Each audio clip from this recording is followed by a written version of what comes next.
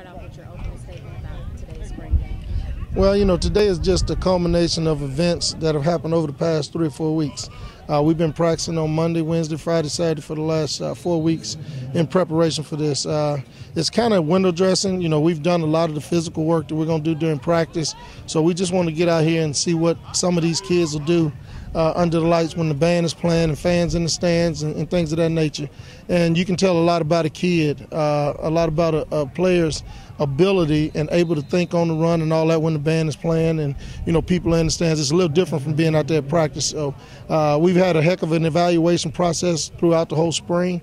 Uh, we just you know like to do the spring game is basically for the fans. We really had uh, a spring game at last week's scrimmage. You know, we really threw a lot of stuff. We're going to be pretty vanilla today.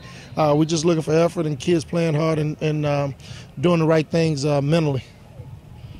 Uh, is there anything specific? You spoke a few things, but anything specific you'll be looking for today? Uh, you know, I want to see the development of our, our, young quarterbacks. You know, well, Mike is still considered a young quarterback being a sophomore, but, um, you know, he's kind of head and shoulders above the rest of the kids that we have. We really want to see who that backup guy is going to be today. Uh, you know, uh, Amani Carswell and Hope Claiborne are the two guys, you know, really vying for that uh, second team spot right now. Um, so, you know, we want to see that the development of our young wide receivers, and we have some very young linebackers and defensive linemen uh, that you know we still got some questions about.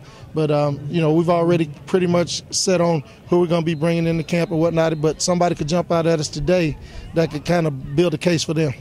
All right, thank you, Coach. All right, thanks.